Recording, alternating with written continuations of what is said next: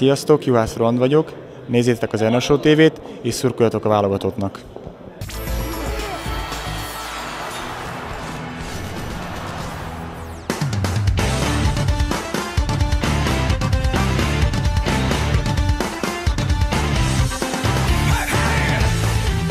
Szerda este Győrben játszik felkészülési mérkőzést a magyar és a finn labdarúgó válogatott. De edzőmeccs ide, edzőmeccs oda, pikáns párosításról beszélünk, ugyanis a két csapat egy csoportba került a 2016-os Franciaországi Európa-bajnokság selejtezőjében. Az EB kvalifikációk során immáron harmadszor.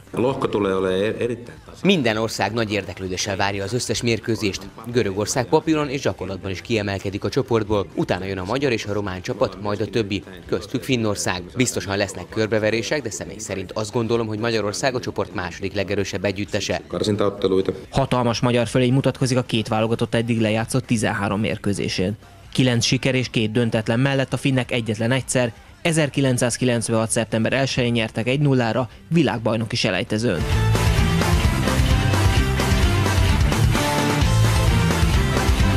Mixu Patelainen három éve irányítja a finn válogatottat. A magyar csapat technikás, gyors játékából alaposan felkészítette együttesét, de nagy érdeklődéssel várja, hogy kollégája Pintér Attila milyen taktikai variációkat kíván bevetni. Tiedän, että, että Unkari on Szerda este egy kicsit beletekinthetünk abba, hogy a nemrég kinevezett kollégám milyen új gondolatokkal, új taktikai elemekkel tölti meg a csapat a játékát. Remek erőpróba lesz a magyarok elleni mérkőzés, így a bajnokságunk kezdete előtt.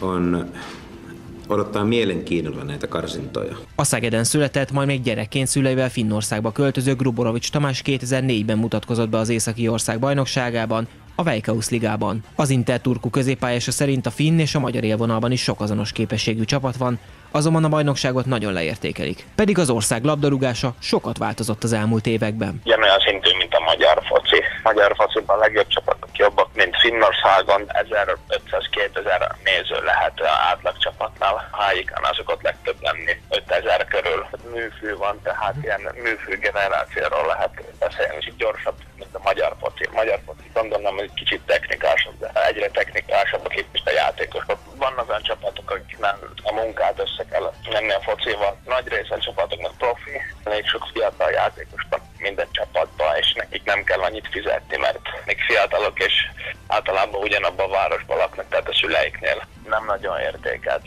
bajnokság. Szerintem jobb, jobb a szint, mint amit, amit hisznek. Szerintem leértékelik a finneket.